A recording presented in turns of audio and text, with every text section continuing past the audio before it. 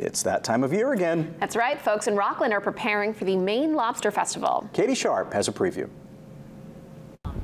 Folks in Rockland will have the bibs ready and the water boiling as they gear up for the Maine Lobster Festival. The Maine Lobster Festival is five days of feasting and fabulous fun on the coast of Maine, where we serve thousands and thousands of pounds of lobster and a great time to people from all over the world. Now, in its 76th year, the festival still attracts visitors from all across the globe. Last year, we had visitors from as far away as Fiji, Singapore, Guam.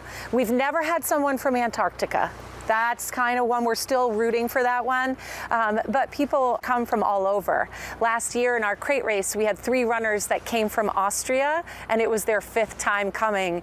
Two of them have been champions in the past. With food, fun, art, and entertainment, there's something for lobster lovers of all ages. We celebrate lobster, our local industry. We've partnered this year with the Save Maine Lobstermen campaign, so we'll have campaign fundraising going on for that all five days.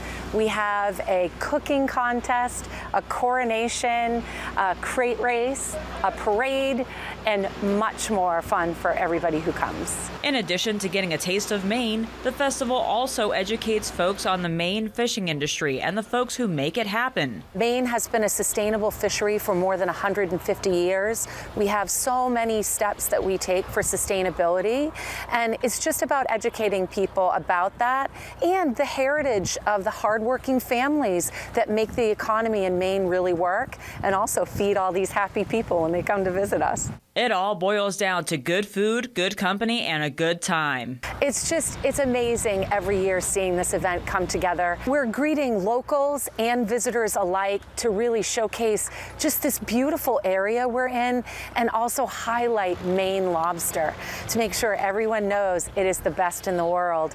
And that's just a whole lot of fun seeing that happen. Katie Sharp, WABI TV5 News, Rockland. The festival starts tomorrow and runs through Sunday. Admission is free. For more information, go to mainelobsterfestival.com.